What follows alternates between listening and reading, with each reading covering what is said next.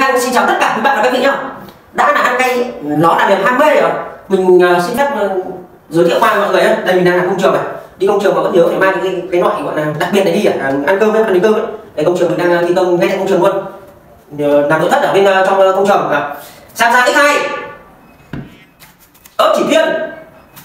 À, à, đấy, ăn cay là niềm ham mê. Ở mình xin giới thiệu một cái suất cơm ở bên uh, tròi âu ấy. Đây gọi là trứng đả điểu cuốn. Đấy đây gọi là trên uh, núi ờ, uh, lam sơn. Rồi còn đây là chả cá hồi luôn. Tôm ăn nước cay cho mọi người. Chấm vào luôn ừ. ừ. còn đây là chả cá hồi nhá. Nè mọi người nhìn chưa? Sang tháng hai năm này. Nóng đấy luôn. Đây mọi người ừ. ừ. tay mà rất ngon luôn. Là mình trứng nữa. Đây, trứng màu vàng nhá đây thử sang màu đỏ này. Đấy chưa? Ngon không? Ui, đây. ừ ừ. ngon lắm được cơm ở công trường rất ngon